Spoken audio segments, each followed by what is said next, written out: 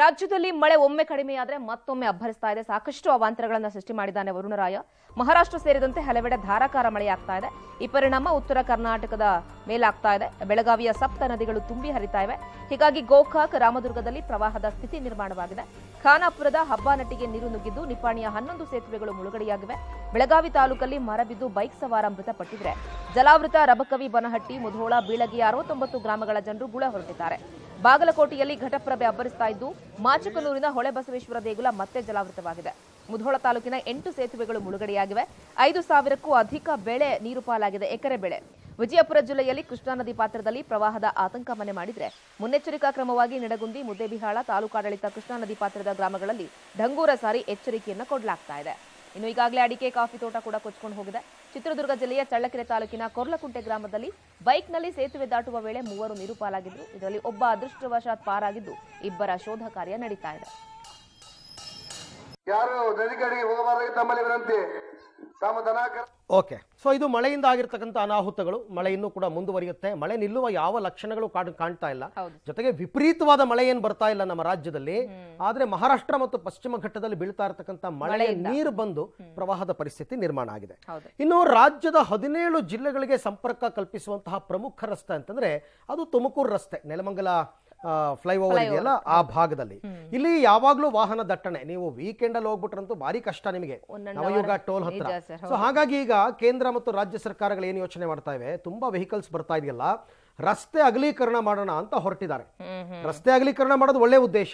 ಆದರೆ ರಸ್ತೆಯ ಬದಿಗಳಲ್ಲಿ ಇರ್ತಕ್ಕಂಥ ಮರಗಳನ್ನ ತೆರವು ಮಾಡ್ತಾ ಇದ್ದಾರೆ ಕಟ್ ಮಾಡ್ತಾ ಇದ್ದಾರೆ. ಮಷಿನ್ಗಳನ್ನ ತಂದು. ಇದಕ್ಕೆ ಪರಿಸರ ಪ್ರೇಮಿಗಳು ಬಹಳ ವಿರೋಧವನ್ನು ವ್ಯಕ್ತಪಡಿಸ್ತಾ ಇದ್ದಾರೆ.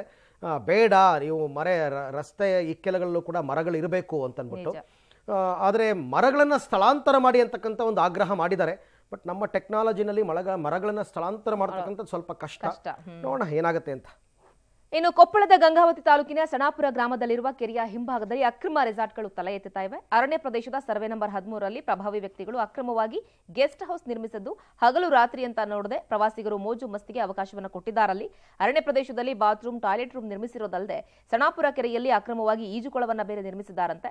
ಕೊಪ್ಪಳ ತಾಲೂಕಿನ ರಾಜರಾಮಪೇಟೆ ಮತ್ತೆ ನಾರಾಯಣಪೇಟೆ ಗ್ರಾಮಗಳಲ್ಲಿ ವಲ್ಲಭಚಂದ್ರ ಎನ್ನುವವರ ಹಂಪಿ ಬೋಲ್ಡರ್ ಮತ್ತು ಹಂಪಿ ವೀಸ್ಗ ರೆಸಾರ್ಟ್ಗಳಿಗೆ ಬರುವ ಪ್ರವಾಸಿಗರಿಗೆ ಅಕ್ರಮವಾಗಿ ಸಫಾರಿಯನ್ನು ಕೂಡ ನಡೆಸ್ತಾ ಇದ್ದಾರೆ. ಆದರೆ ಅರಣ್ಯಾಧಿಕಾರಿಗಳು ಮೌನವಾಗಿದ್ದಾರೆ. ಇನ್ನು ಜಿಲ್ಲಾಡಳಿತ ಸಹ ಅಕ್ರಮ ಗೆಸ್ಟ್ ಹೌಸ್ ನಿರ್ಮಿಸಿಲ್ಲ ಮತ್ತು ಅಕ್ರಮ ಸಫಾರಿ ಮಾಡ್ತಾ ಇಲ್ಲ ಅಂತ ಇರೋದು ಅನುಮಾನಕ್ಕೆ ಎಡೆ ಮಾಡಿಕೊಟ್ಟಿದೆ. ನೋಡಿ ರಾಜ್ಯದಲ್ಲೆಲ್ಲ ಮಳೆ ಅಬ್ಬರಿಸ್ತಾ ಇದೆ ಡ್ಯಾಮ್ ಎಲ್ಲ ತುಂಬಿ ತುಳುಕ್ತಾ ಇದೆ ಕೆರೆ ಕಟ್ಟೆಗಳು ತುಂಬಿದೆ ಎಲ್ಲಾ ಕಡೆ ನೀರು ನೀರು ನೀರು. ಆದರೆ ವಿಜಯನಗರ ಜಿಲ್ಲೆ ಹೂವಿನಹಡಗಲಿ ತಾಲೂಕಿನ ತಳಕಲ್ಕು ಕೆರೆ ಮಾತ್ರ ನೀರಿಲ್ಲದೆ ಬರದಾಗಿದೆ. ಯಾಕೆ ಅಂತಂದ್ರೆ ಅದಕ್ಕೆ ಕಾರಣ ಅಲ್ಲಿನ ಶಾಸಕ ಪರಮೇಶ್ವರ ನಾಯಕ್ ಅವರಂತೆ. ಇವ್ರು ಹೇಳೋ ಪ್ರಕಾರ. ಬಿಜೆಪಿ ಓಟ್ ಹಾಕ್ಬಿಟ್ಟಿದ್ದಾರೆ ಅಂತ ಅಂದ್ಬಿಟ್ಟು ಎಲ್ಲ ಕೆರೆಗೂ ನೀರು ತುಂಬಿಸ್ಬಿಟ್ಟು ಇದೊಂದು ಕೆರೆಗೆ ನೀರು ಬರೆದಿದ್ದಂಗೆ ಮಾಡಾಕ್ಬಿಟ್ಟಿದ್ದಾರಂತೆ ಒಂದು ವೇಳೆ ಈ ಕೆರೆ ತುಂಬಿದ್ರೆ ಸುತ್ತಲಿನ ಹನ್ನೆರಡು ಗ್ರಾಮಗಳಿಗೆ ಕುಡಿಯೋ ನೀರು ಸೇರಿದಂತೆ ಬೋರ್ವೆಲ್ನಲ್ಲಿ ಕೂಡ ನೀರು ಬರುತ್ತೆ. ಜನ ಜಾನುವಾರುಗಳಿಗೆ ಅನುಕೂಲ ಆಗುತ್ತೆ.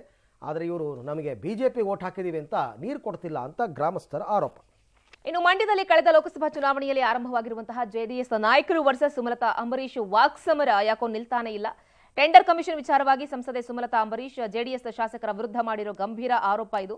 ಸಂಸದೀಯ ಆರೋಪಕ್ಕೆ ನಾಗಮಂಗಲದ ಶಾಸಕ ಸುರೇಶ್ ಗೌಡ ಹಾಗೆ ಸಿಎಸ್ ಪುಟ್ಟರಾಜು, ಡಿಸಿ ತಮ್ಮಣ್ಣ ಕೂಡ ಸಿಟ್ಟನ್ನ ಹೊರಹಾಕಿದ್ರು. ಈಗ ಮಳವಳ್ಳಿ ಶಾಸಕ ಅನ್ನದಾನಿ ಕೂಡ ವಾಗ್ದಾಳಿ ನಡೆಸಿದ್ದು. ಸಂಸದೆ ಸುಮಲತಾ ಬರೀ ಪೋಸ್ ಕೊಡೋ ಕೆಲಸ ಮಾಡ್ತಾರೆ. ಯಾರು ಏನ್ ಮಾಡಿದ್ದಾರೆ ಅಂತ ಬಹಿರಂಗ ಚರ್ಚೆಗೆ ಬಂದ್ರೆ ಗೊತ್ತಾಗುತ್ತೆ ಅಂದ್ರು. ಇದಕ್ಕೆ ಸಂಸದೆ ಸಂಸದೆ ಸುಮಲತಾ, ನಾನು ಕಮಿಷನ್ ಕೇಳಿರುವ ದಾಖಲೆಗಳಿದ್ರೆ ಮೇಲ್ಕೋಟೆ ಚೆಲುವನಾರಾಯಣ ಸ್ವಾಮಿಯ ಮುಂದೆ ತಂದು ಆಣೆ ಪ್ರಮಾಣ ಮಾಡಿ ಅಂತ ಸವಾಲ್ ಹಾಕಿದ್ದಾರೆ.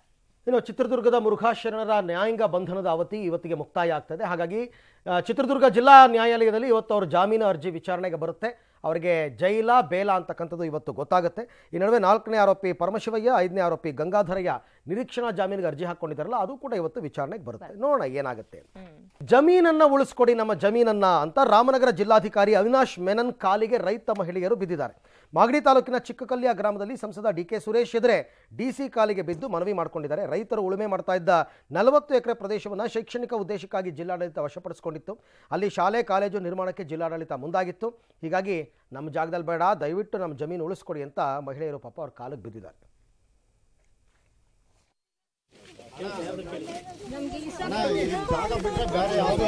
ಬಿಡಿ ಬಿಡಿ ಆಯ್ತು.